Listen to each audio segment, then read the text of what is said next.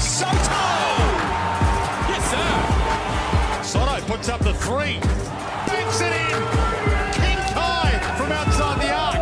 Two spins. He did 720 and then floated it in. And Sotto at the defensive end. Well, that's a man-sized block.